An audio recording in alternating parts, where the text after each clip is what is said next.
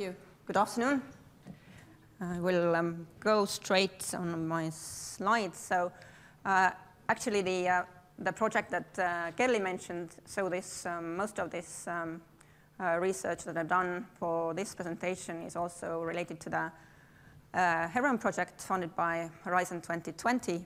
And um, in, the, in the transport sector, the, the key research question was that what are the policy measures um, that uh, can deliver our national energy efficiency and uh, climate policy targets uh, uh by 2030?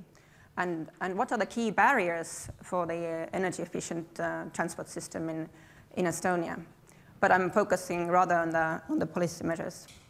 And we did the analysis, or it's still ongoing work, so we also used LEAP tool to, um, to analyze these policy measures in different scenarios.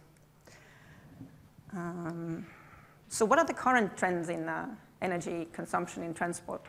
Uh, transport is uh, like a quarter of the final energy demand is, uh, is in the transport sector, and it's one of the few uh, sectors where the demand for energy is still growing. And with this business as usual um, current trends, until 2030 there would be no change in the, in the growth of the energy demand in transport. And the key drivers in this growth for demand are drivers. So it's basically the, the, the car use that is uh, driving, this driving this trend uh, for increasing demand. And also currently the low oil prices. And what are the the same problem as Charlie had. And we also asked many uh, uh, experts in Estonia, like 30, 50 uh, experts, what do they think that are the key barriers for this kind of trends in Estonia? And um, besides this word cloud that was generated um, with these with uh, names of barriers, the two key barriers are lack of integrated planning in the transport sector and spatial planning and uh, that current fiscal instruments in the transport uh, sector in Estonia are not encouraging fuel-efficient um, transport patterns. So we just, uh, just to, for the, our foreign guests, to let you know that we have uh, basically only fuel excise duty in the transport uh, sector, no whatsoever vehicle taxation.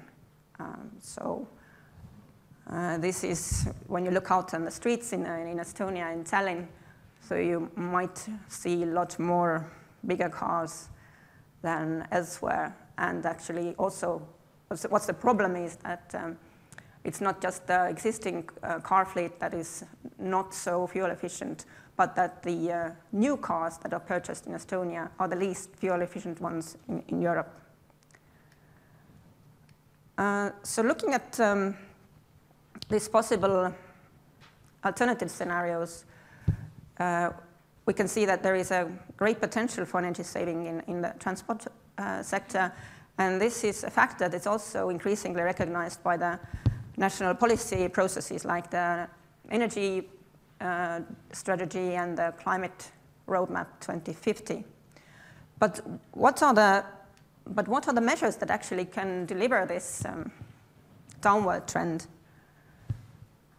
Um, so I, am just putting here the, the, the, the, measures that have the highest potential. And first, like I said, it's the, it's the fuel efficient vehicles that could deliver the highest um, potential in um, fuel efficiency until 2030.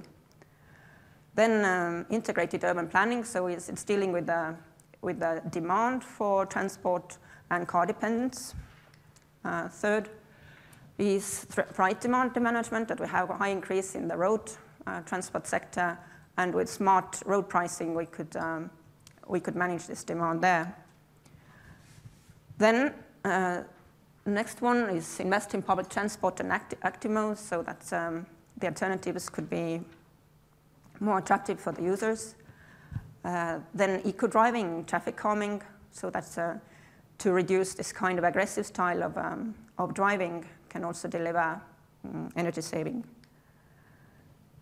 So, and now when we, we compared it to the national um, targets in terms of CO2 emissions by 2030, so with a, with a effort sharing decision um, target of uh, minus 13% compared to 2005 levels.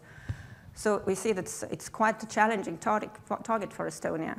And we need to take into account and really implement all these measures uh, to be able to, um, to uh, achieve these targets by 2030. So the 2020 targets that still allow us to, to um, increase the emissions, it seems quite uh, realistic that Estonia is, uh, is going to deliver these targets, but not for 20, 2030. And um, just, to, just to say that many changes are starting from the head, let's say, and, and maybe in two years, when you go out from this building, uh, the picture on the street will look like that. Uh, this is currently the plan in um, uh, by Tallinn City and also supported by the national government to, to re redesign the, the main street of Tallinn. It's a stretch of three to four kilometers just in front of this hotel and from, from to the left and to the right. And um, and this is a good example that, we, that is, there is will and good examples for, for changes in this policy making. But like, um, by, but like uh, uh, Keit Pentus-Rosimannus says that we shouldn't uh, give uh, too, too many mixed signals in this transport policy either. So on the other hand, we have this Main Street um, plan uh, here happening, but on the other side of the building, there is a Reidi Road um, uh, Reidi Street and Road um, mm, development scheme that would put like six to eight lanes of, uh, of, of, cars uh, between the sea and, and the city. So many old policies still have a very strong inertia, and this needs to be changed. Thank you.